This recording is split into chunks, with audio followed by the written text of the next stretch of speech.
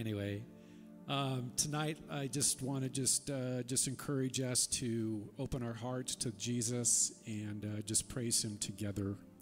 And so, Lord, we just come before you right now. We thank you for the privilege of worshiping you corporately and individually in our hearts, Lord. And I just pray that you would be glorified in this evening. And as Jackie teaches tonight, God, I pray that uh, it would just move us to action, Lord.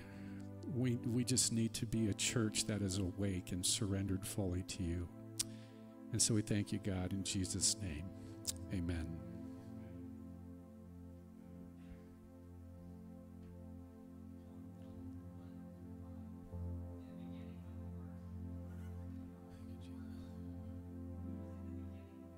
All things were made through him, and without him was not anything made that was made.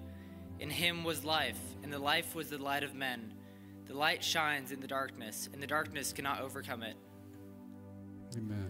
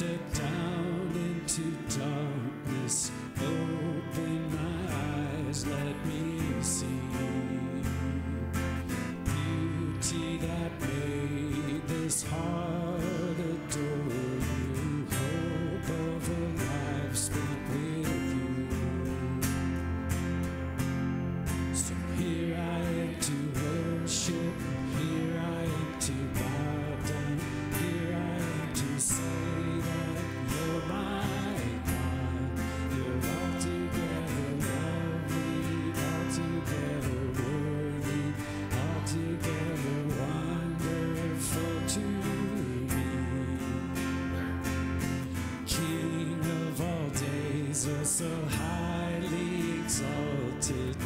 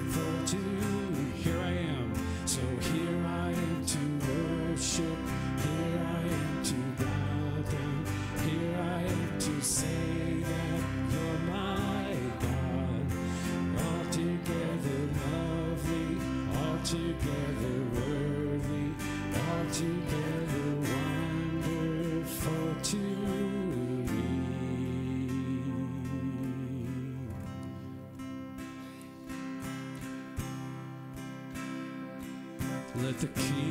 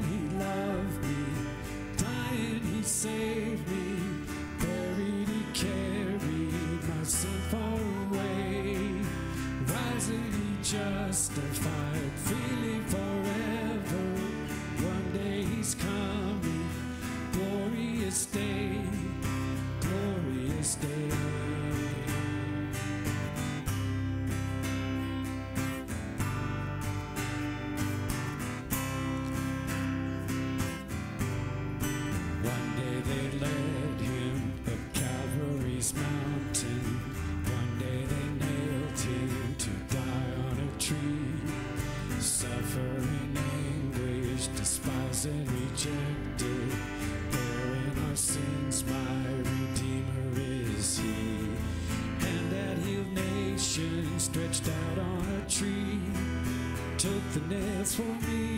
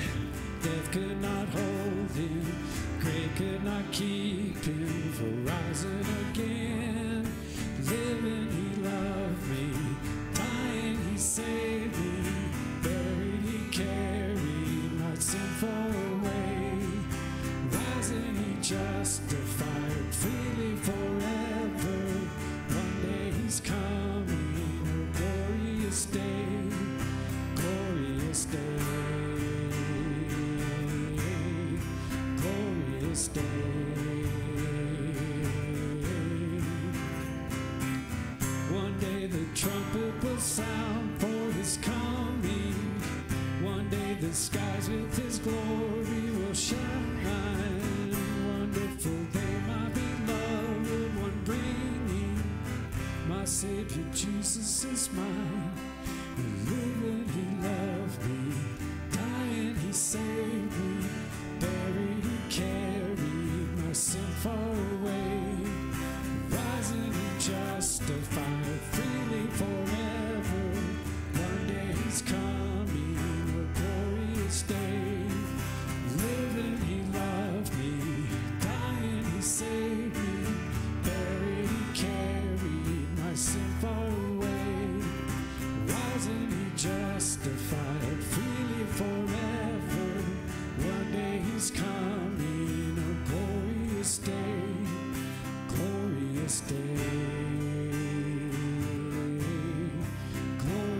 stay.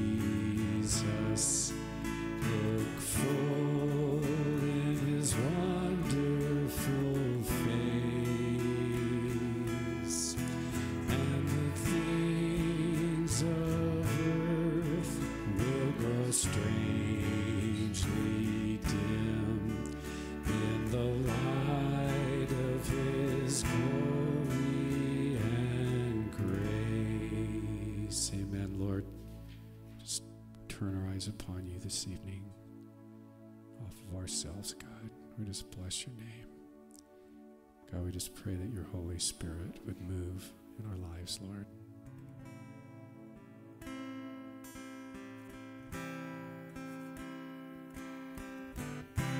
Holy fire.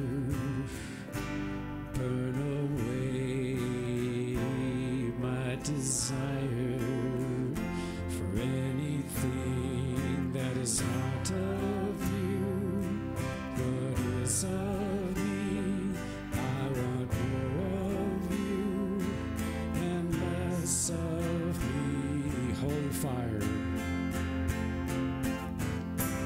holy fire, burn away my desire.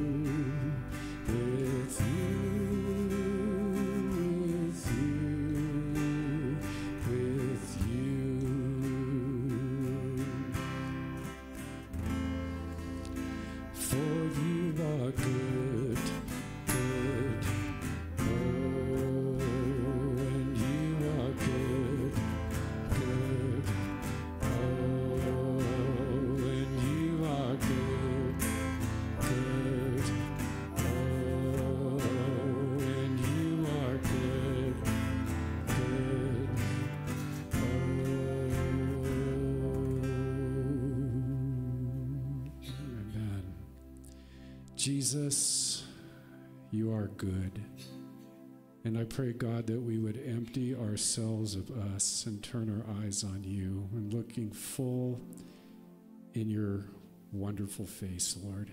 In these days, there's a lot of stuff going on, but God, you are still on the throne. Help us to keep our eyes fixed on you.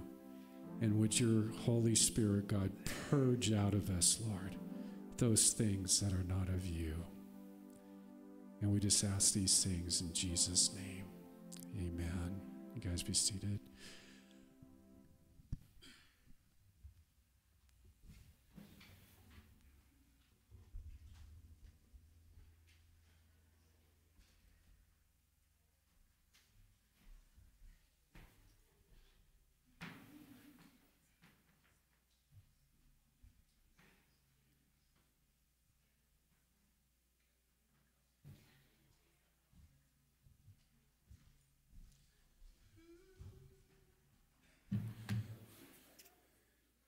You are good.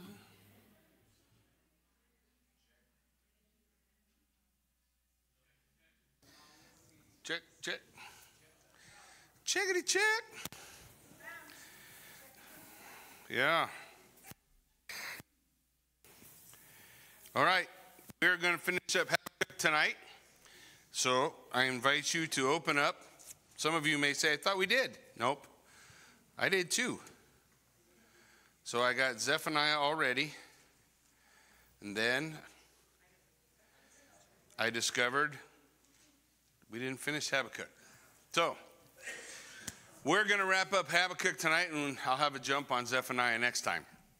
So Habakkuk is really very beautiful if you understand how it's all put together. So when we begin, Habakkuk is a lament. It's uh, prophetic poetry. It is. It deals with Habakkuk's questions of God, which we've all had, right? Anybody ever had a question for God? Why are you doing it this way, Lord? What's going on? So that's how it starts. Habakkuk starts off with the questions What are you doing, God? What's happening? And then the Lord's going to answer him. The two questions that Habakkuk is going to ask, uh, we, we've already talked about, but just by way of remembrance. How long will I cry out and you're not doing anything? Do you ever feel like the circumstance around you, God's not doing anything? You see all these things that need handled and God's not handling it. So Habakkuk is crying out, Lord, where are you at? How come you're not doing anything? Then the Lord answers. He says, Oh, I'm doing something, and if I told you what I was doing, you would not believe it. So then he told them, and Habakkuk did not believe it. So then the Lord said to him, Look, I'm going to use the Babylonians to judge the wickedness of Judah. So they're going to fall under the judgment of Babylon, but then I'm going to judge Babylon as well.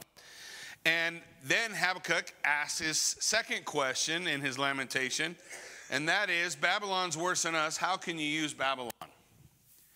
How can you use somebody who's worse than us to bring judgment upon Judah? And the Lord lays out for Habakkuk that one, your, your, your premise is wrong. The idea that they are worse than you is probably inaccurate. In fact, through the other prophets, God had already declared that Judah and Israel were like Sodom and Gomorrah. In fact, when he's declaring it, talking about it in the book of Ezekiel, you can read about it in Ezekiel chapter 16, he calls Judah the sister of Sodom and Gomorrah. So the concept is you're not better than them. You don't have less sin just because you have uh, the, the ability to lay claim to the title of being God's elect, right? That God chose the nation of Israel. But you still have a sin problem. One, your premise is wrong. Two, God says, not only am I going to judge you, I'm going to judge all the world.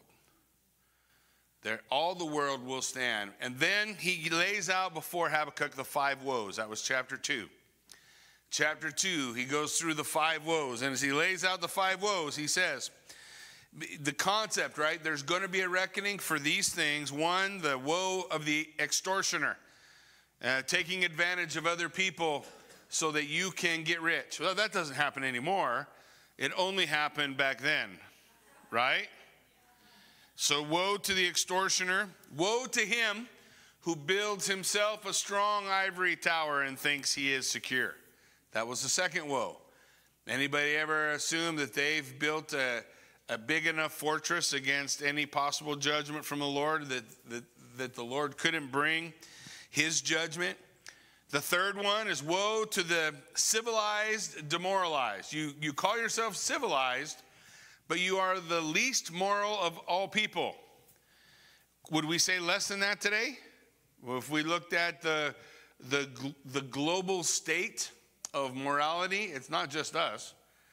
The global state of morality, two particular things in that woe violence breeds violence, and a tolerated sin will ultimately destroy. It'll destroy a nation and it will destroy a person. Tolerated sin brings destruction. The fourth woe woe to the shameless. Woe to those who are able to sin and not even recognize it as sin anymore. They have no shame. And the last woe is woe to the idolatrous. So he's laying out the concept in the five woes. He's talking about Babylon specifically. So, Babylon, whom I'm going to use to judge Judah, they're guilty of these five woes. But in the concept behind it is all nations are on a trajectory to become Babylon. Have you ever read the book of Revelation? You ever notice that there is a name of a city that's brought up in the book of Revelation? Two cities, a tale of two cities. One city, Jerusalem, the city of God, perhaps, and the other, the city of Babylon. You been to Babylon recently? There's nothing there. There's some rubble. Babylon is symbolic for that city that is in rebellion against God. And so you see this idea in the five woes, the guilt laid out over the world, over the nations, over Judah and the rest of the world. And that leads us to the last part of Habakkuk, which is his prayer. And it is it's really a song. Remember i told you all of this is a lament so it's like a, a funeral dirge.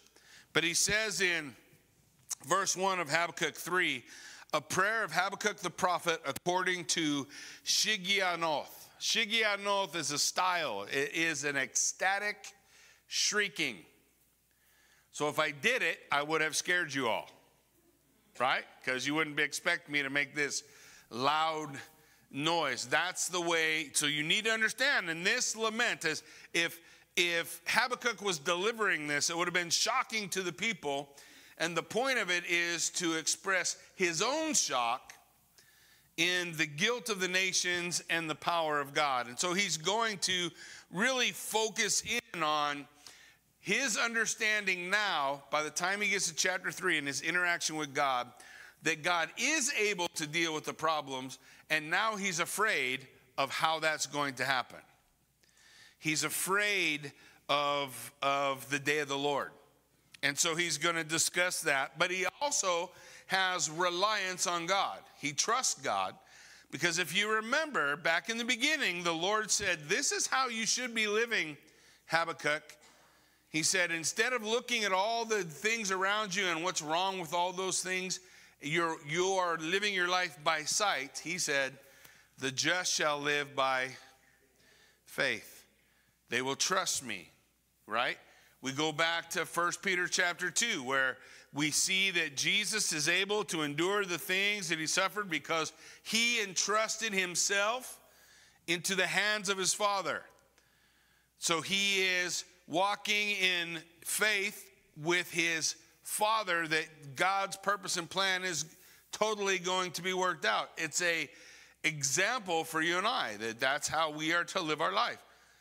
If you looked at Jesus' life and he's being arrested and he's being beaten and all the things are going on, you would think that it's that there's just a total destruction of anything good is happening. But what we realize is through that, the greatest story ever told, the, the gospel is being lived out, right? And the ability for salvation to come is being wrought through what he's doing.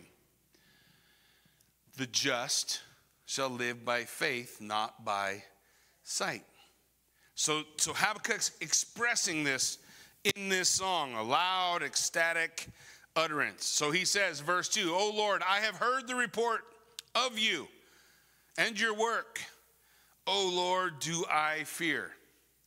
So he's he's heard the things that God says he's going to do and the and the level of guilt before the people and he's afraid. Now, it's told in it's told to us in Proverbs 1 7 that the fear of the Lord is what? As the beginning of wisdom. It's the beginning of wisdom. To recognize God's in charge, that God is just, that God is good, that God has wrath, that there will be a reckoning, that that reverence, that fear, and it is fear. I, I don't I don't mean to say it in a way like, trust me, when you stand before God Almighty, I think if we could describe the emotions we would feel in that moment, fear is going to be one of those. Right? Before the Holy God. The reason that our fear will be quelled is because of the blood of Jesus Christ and his robe of righteousness draped around us at the same time. Amen? So, he's filled with fear, but his confidence is on the Lord. He says, in the midst of the years, revive it. In the midst of the years, make it known. In wrath, remember mercy. So his idea is, Lord, I know this is coming and I know the judgment is going to be poured out. So, Lord, please, you know, revive the work again. Don't, don't give up hope on the nation. Uh, that there would be a revival of Israel, which there is. There's going to be a remnant that returns, right? The remnant is going to come back into the land. Remember mercy. Do not make a full end of us. And the idea of this wrath, he's going to portray in the rest of the chapter as a storm. In fact, there was a president who was reading through Habakkuk chapter 3. This is the story anyway. And he got to the description of the storm that comes from the south in the desert, and he decided to call the, uh, the attack that he was going to put forward Desert Storm. So you look here, and this is what he's describing. This is a picture of God's judgment and wrath illustrated by a desert storm coming uh, across the land. So look how he begins it in verse 3. It says, God came from Teman and the Holy One from Mount Paran, Selah. So he's coming from the south, coming up through the desert, he, this is a portrayal of the desert storm. His splendor covered the heavens, and the earth is full of his praise. His brightness like the light, and rays flashed from his hand, and there he veiled his power. Now, I just want you to think about what a, a brewing storm looks like. You see the lightning, and you can see it in the distance, but all that power is veiled by the dark clouds of the storm.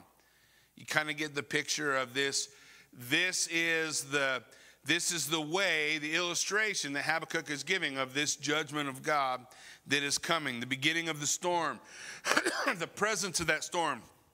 Overwhelming. The sound is like the earth is full of praise because if you've ever been in the midst of a wild and crazy storm, it's loud. It's amazing how much noise can be produced in, uh, in the midst of a hurricane. So he's describing this as the power of God on display, storm clouds on the horizon, his brightness, the lightning covered, veiled by the cloud. Look at verse 5. Before him went pestilence and plague followed on his heel. So get the picture. As the storm is coming, it's pushing in front of it all the all this the Bible describes it as pestilence, all the all the little critters, all the bugs, all the stuff, it's all getting blown out in front.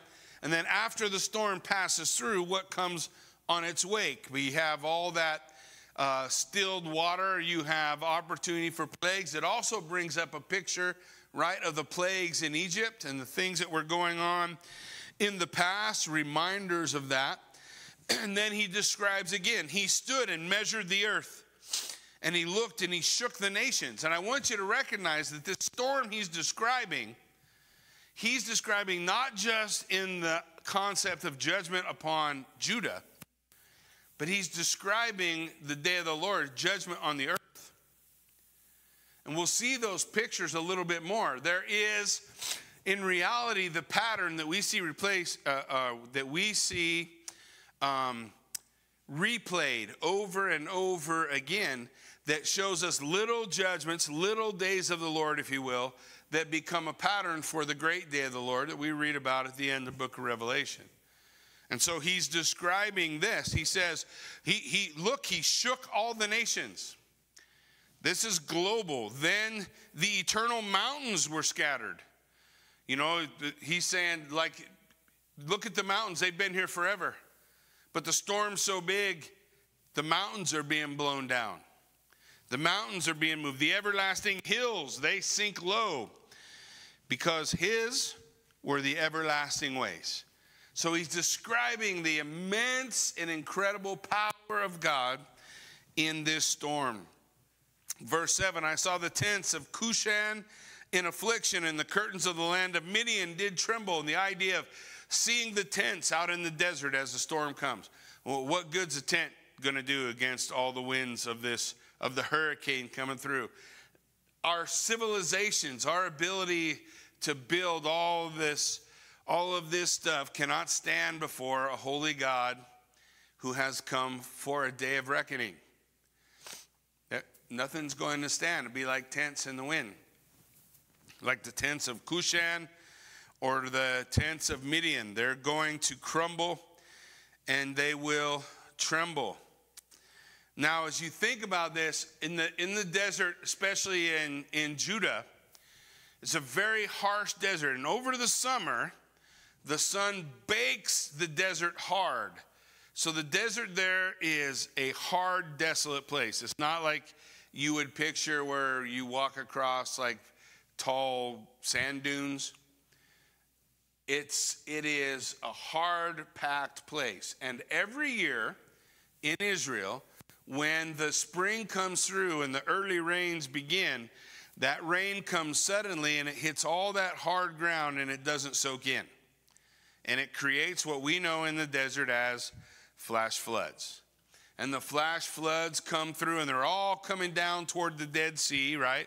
That's the lowest place there. And so, as they come down through the mountains, you have these streams or rivers that look like mud. And the Dead Sea is crystal bluish. It's really trippy if you get a chance to to, to come with us down. We're going to stay a night at the Dead Sea, so you'll get a chance to really spend some time there and check it out. But when that flood water, one year when we were there, this happened, and all the flood waters come in, and it dilutes a little bit the saltwater content in the areas where the flash flood is coming in, and it turns all that blue water brownish because it's got all that mud that has come down into the water. And so he he's describing this, and he's describing the, the point of it. Is the point of this because you're angry at the river? Look what it says, verse 8. Was your wrath against the rivers, O Lord? Was your anger against the rivers, or your indignation against the sea when you rode on your horses on your chariot of salvation? So you have this picture that we saw in Ezekiel of God on his throne chariot which is a an illustration of the true God of the storms. You see, the God of the storms in that area that the nation of Judah wanted to worship often is a God you've heard the name of. Baal was the Lord of the storms. So, oftentimes, you have uh, what you call technically a polemic, which is a illustration or a uh, a message delivered by a prophet against what the people were trusting in another idolatry. So instead of depicting Baal as a storm god, they would pick Yahweh. He is the storm. He's bigger. He's riding his storm chariot, and they would describe that before the people. And his, his point is as you're coming down, as this judgment is being laid out, it's not about the sea, it's not about the rivers, it's about judgment on the wicked. When we go back to Genesis chapter 3 and 4, and we see the fall of man and the first murder, right? Two brothers Cain and Abel. Do you remember what the Lord said to Cain when he came and asked him, Where's your brother?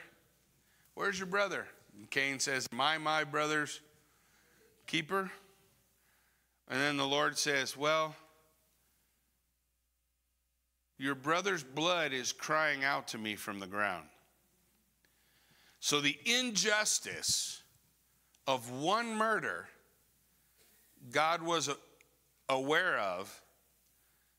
And can you imagine how that's multiplied over the earth in the last 10,000 years? Some would argue we have 10,000 years of written history. Well, if that's true, how, how much murder has there been? And you think about all of that and you think, you begin to understand what the Bible calls the long suffering of God, the patience of God as He withholds judgment. But you can also understand the wrath that will come one day, right? The big storm that, that the Lord is going to pour out. And then He makes a description of uh, the terror of the warrior. We see it, it begin in verse 9. He says, You strip the sheath from your bow calling for many arrows. Now, this is one of those areas where I encourage people to use multiple translations because if you do, you'll discover that they all say something different there. It's all, all say something a little bit different. And why do they all say something different? It indicates that in the language, it's a difficult thing to translate. The idea is, is not, it's not simple to, to get across the idea that's being laid out oh, really, what is being said is your bow is naked and sworn in all the arrow shafts with a word. So the idea is you got your bows ready to go and your arrows aren't going to miss. Like you've you've put the the magic on the arrows and now they are going to always hit their target. They're never going to miss. And so your arrows are going to fly they are going to strike home. You split the earth with rivers. And so again, you have the picture of the storm being led by the by this Lord over the storm who has his bow unsheathed and he's letting fly his arrows and they all hit where he wants them to hit. What's that sound like he's describing? So if you if you can understand the the the metaphor of the storm, it's it's like he's shooting forth lightning from his bow, but it's not just random lightning, it's lightning intended to hit all the targets he's calling for them. And the, and the rivers of flood that are coming down uh, all surrounded this incredible display of, of power. And all of this Habakkuk is describing. He says in verse 10, the mountains saw you and writhed. So all of creation is trembling, right? Because the Maker is pouring out his wrath. So the mountains saw you, they writhed, the raging waters swept on. So they're sweeping on, the mountains are writhing. Picture it as as a floodwaters come down in the valleys between mountains and erodes the dirt and it pulls down the dirt from the side, you have this torrential flood being laid out. And the deep gave forth its voice, it lifted its hands on high. The sun and the moon stood still in their place at the, as the light of your arrows as they sped by, at the flash of your glittering spear. So, just describing this incredible act of power. Look, no matter what crazy storm you and I have ever seen, it is tiny in comparison to the power of the eternal God. Right? But Habakkuk is relating to the people through his experience, what they see as this incredible, mighty event taking place. And he's relating that event to the power of God and the fact that God's judgment is coming. He says in verse 12, You marched through the earth in fury, you threshed the nations in anger. This goes back. We'll see this in Zechariah when we get to Zechariah. We've seen it in a, and a few other of the prophets where it talks about the coming of the day of the Lord and that the Lord, he doesn't need any help. He takes care of it himself. That he's going to pass through the nations, right? He's going to trample the grapes of wrath. But we don't have a job in that battle. Our job in that battle is just to be there. The Lord, He's not going to need our help. He's not, we don't have, we're not going to be doing any fighting. We're going to be sitting there with our eyes wide open and our mouths open and, and ultimately uh, praising his name. You march through the earth in fury. You thresh the nations. What was the point of threshing? To divide what? You divide the, the chaff from the kernel, right? So the idea that we see in the harvest of the earth that we see, that we read about in the book of Revelation, we see being laid out here. And the important thing to recognize this is bigger than just Babylon coming to Judah. Babylon is going to come to Judah. They are going to be conquered. They're going to be conquered more than once. I, I would argue four times, but there's three definite times. And the last time, they're totally destroyed. And as this, as this happens, as this goes forth, we see upon that a pattern that we read about in the book of Revelation. A pattern of another day of the Lord. You can read about in Revelation 19, but it sounds very similar. Big, a big event the judgment of the earth. In verse 13, he says, You went out for the salvation of your people for the salvation of your anointed, you crushed the head of the house of the wicked, laying him bare from thigh to neck. Selah. Now he talks about the triumph of Messiah. What, was what is the proto evangelium? The proto evangelium is a Latin term talking about the first mention of the gospel. It's Genesis 3:16 when when the Lord says that the seed of the woman is going to crush the head of the serpent right? And so you have the first promise of a, a deliverer that would deliver the people from their sin. And so here you see this you went out for the salvation of the people, for the salvation of your anointed. You crushed the head of the house of the wicked. Is there a day where God, once and for all, separates the righteous and the wicked? Is there a once, a finished day of judgment? Yeah. And every little picture of judgment that God brought upon a nation, on, even on the nation of Israel and on other nations, is a picture of the reality that there will be a day coming for all. The Bible uses the phrase all the nations multiple times. So there's going to be this, this outpouring. Look at verse 14. You pierced uh, with his own arrows the heads of his warriors who came like a whirlwind to scatter me, rejoicing as if to devour the poor in secret. You trampled the sea with your horses in the surging of the mighty waters. And as you look at this, there's, there's a lot of pictures, but throughout Old Testament scripture, you have the idea of the sea being the place from which the chaos monster comes. When you read the book of, of Revelation, where does the beast come out of? Comes out of the sea. Comes out of the sea. The nation of Israel was not a seafaring people, they didn't have great navies. Uh, the sea was something they didn't really like. So when you read the book of Revelation, you come to chapter 21 and 22, and it describes a new heaven and a new earth, and it says there's no sea there. Some people go, Oh, I'm really going to miss the beach. But I don't know that that's what he's talking about. He's talking about the place where the boogeyman lives. You and I would say there's no under the bed there, there's no monster in the closet. You get the idea? That it's, it is, it is the idea that we have in our minds of where, the, where does evil spring up out of, right? When we're children, you remember when you go to bed and you got to turn out the light, but it's a long ways to the bed. So you would always get that deal where you get up, pick up some speed, flick out the light, catch the air, right, and land on the bed and pull them covers over quick. Why do we do that? Because we have this like little innate fear that there's something scary under the bed, right? Or something in the dark.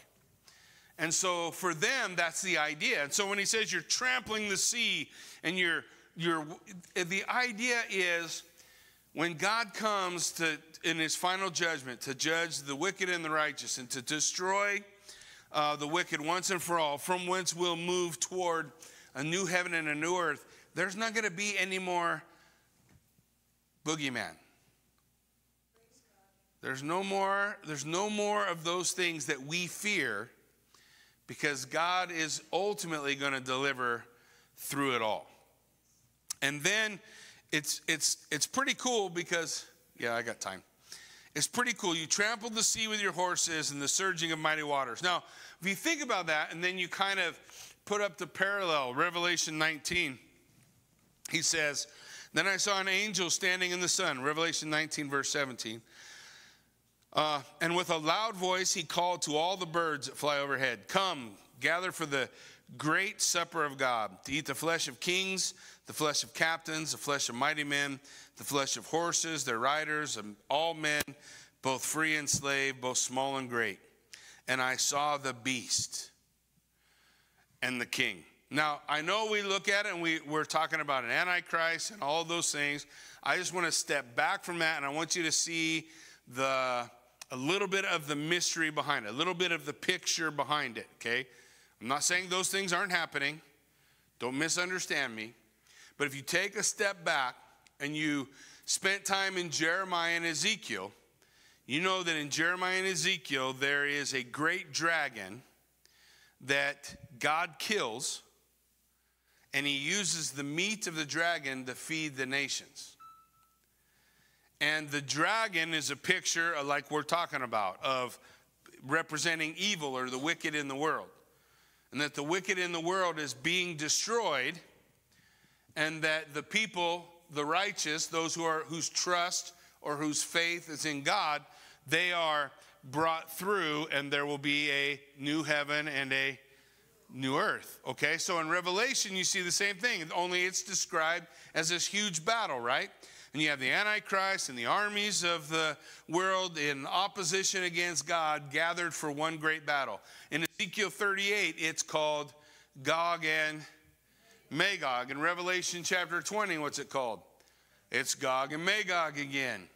So the pictures that are being laid out are these pictures of God's ultimate deliverance of from the wicked into the new heaven, the new earth, the new creation, that God is able to accomplish these things. And so here in Habakkuk, he's giving us this illustration in a storm.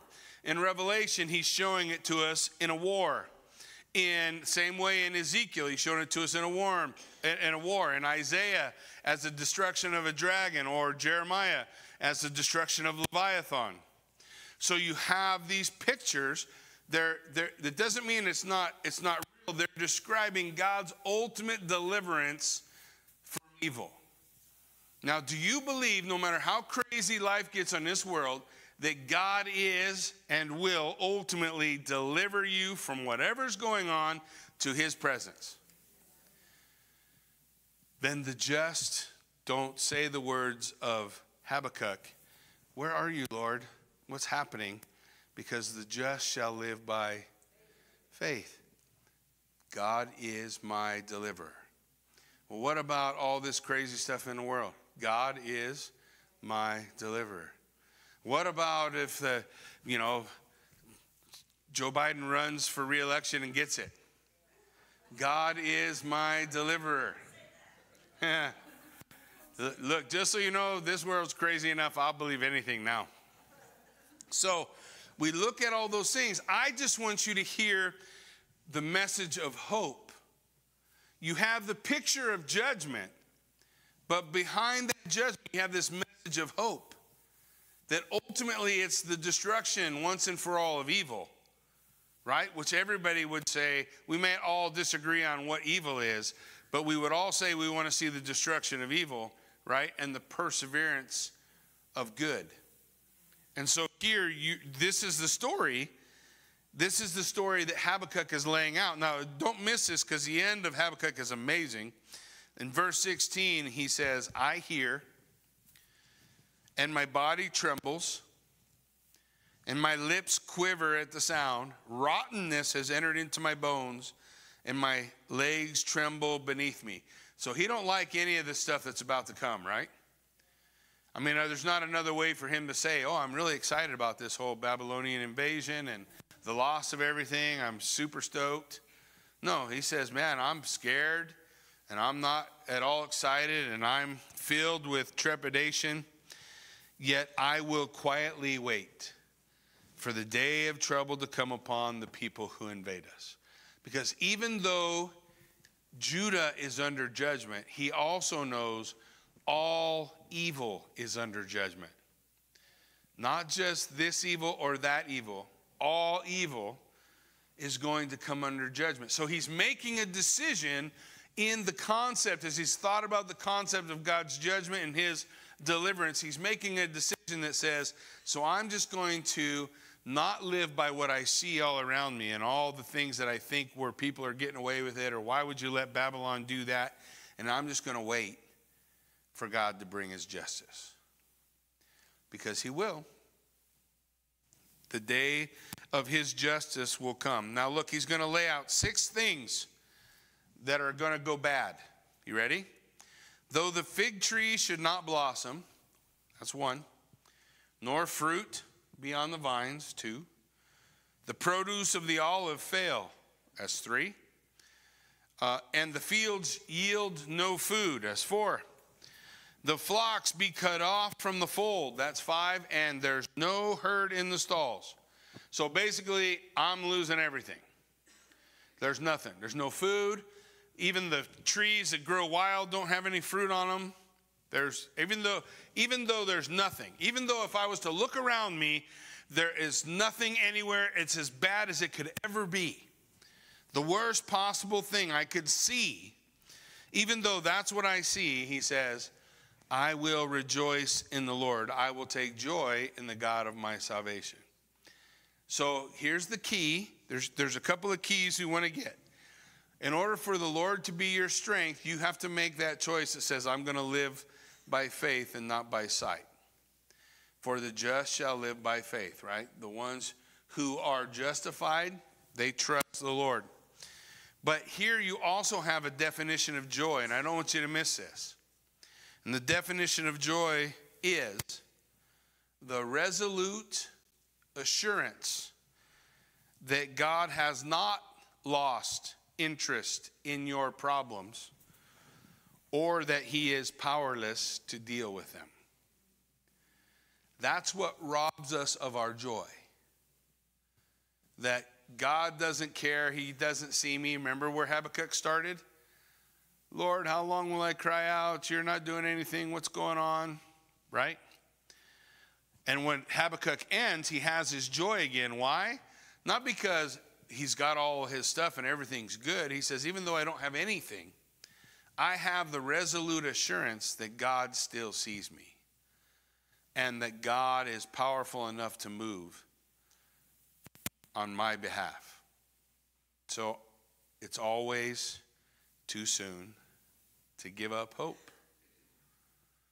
So we put our trust in Him, we set our eyes on Him, and the Lord God will carry us through. Look at verse 19. God the Lord is my strength. He makes my feet like the deer's. He makes me to tread on the high places. Now, if you haven't been to Israel, this was not going to make much sense to you. Where you're thinking mule deer right now. So that's probably the wrong picture. It's not white-tailed deer either. But there are these, I would say they're more like goats than deer. But you go to Israel and you go to Engedi. It's called the goat. That's what Engedi means and you'll be walking through all these giant trees. And you're walking through this valley where David hid from Saul. You guys know the story?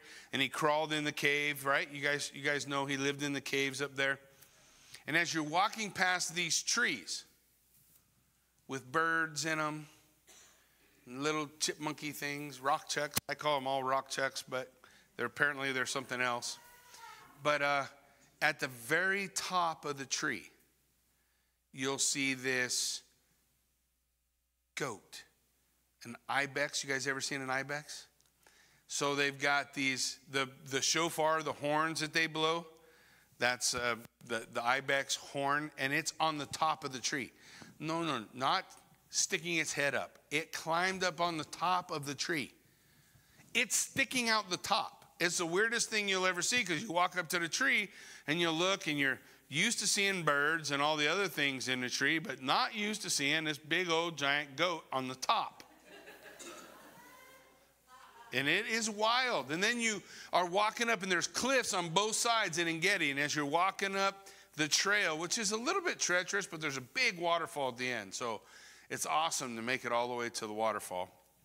And as you're walking up, and you got these cliffs on both sides, those ibex are just trucking. They're way faster than you and I on the edge of the cliff where there's like, you know, no place to stand. Now, what's the point of the story? The point of the story is, is that Habakkuk is recognizing, you know, the Lord will make me able to stand in whatever circumstance I'm in. He'll give me the feet. He'll give me what I need to be able to stand in the places where he sends me. So that's the place where David lived in the caves for all those years. That's the place where David wrote a lot of the first 70 Psalms in the book of Psalms. So you, you see this beautiful thing. And at the end, he says, To the choir master on stringed instruments. So this whole book we've gone through, the three chapters of Habakkuk, was sung remember, it's a, it's a lament, a funeral dirge. And when you get to chapter three, that's where the heavy metal guys come out and they start screaming. That's how it is, right? Because he said this is where the ecstatic, loud utterance comes through as it builds its crescendo to the realization that God is in control. Amen? Why don't you guys stand with me? Let's pray. Father God, we thank you so much for an opportunity to study this book and to understand maybe a little bit more about your character, who you are, how you're moving, what you're doing in our life, God. We can trust you, we put our hope in you. We know that you are able. So, God, as we think about this, help us recognize when we have lost our joy, when we're seeing the things around us and we're afraid of all those things and we've lost our fear of the Lord. We've lost the reality that God is in control. And that judgment may not be around the corner, but there is a day of salvation and there is a day of judgment. And you, Lord God Almighty, are able to deliver us. So may we put our hope and our trust in you. In Jesus' name, amen.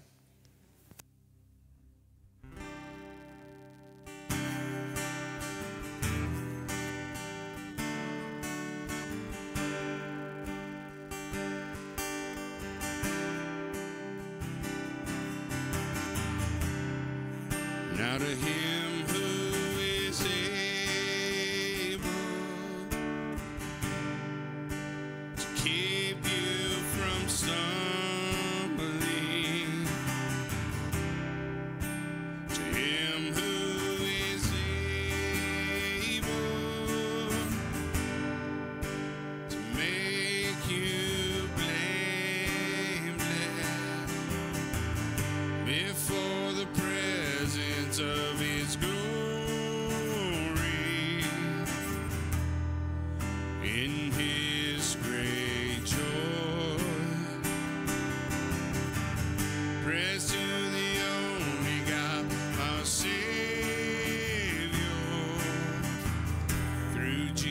Jesus Christ our Lord.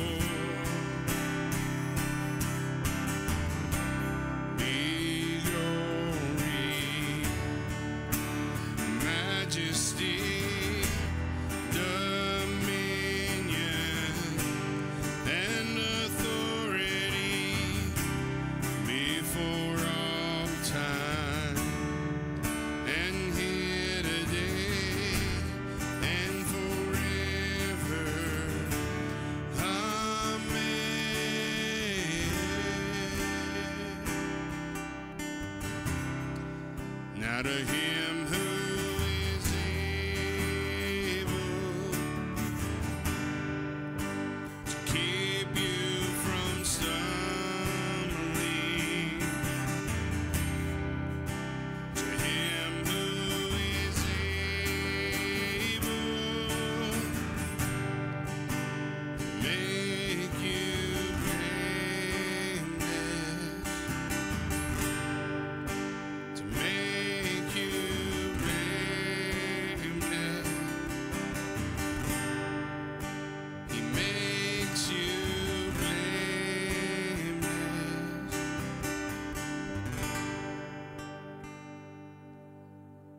God, we just ask as we go from this place, Lord, that you'd equip us to be your hands and feet, that we would have an answer for him who asks us a reason for the hope that is within us. And God, may you be glorified as we shine your light. In Jesus' name we pray. Amen. God bless you guys. Have a great week. Oh. Yeah, we're taking all the chairs down, so if you want to help, thanks. If you don't want to help, thanks anyway.